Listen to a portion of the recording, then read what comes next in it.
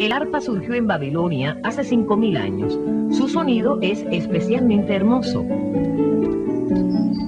Arpe en griego significa gancho y por su curiosa forma fue llamado así este instrumento musical.